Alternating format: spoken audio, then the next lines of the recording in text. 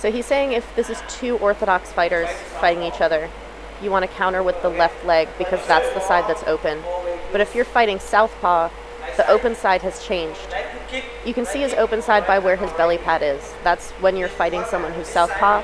They have a bigger side. It's a bigger target. He's saying this side is very small, so you don't attack with the left side here. It's a tiny target. He's like, so if you kick me here, it's a tiny side, not a big point. But then when I come to kick you back, he's going to kick my open side. So we've both done a kick, but his point is higher because he's hit my open side.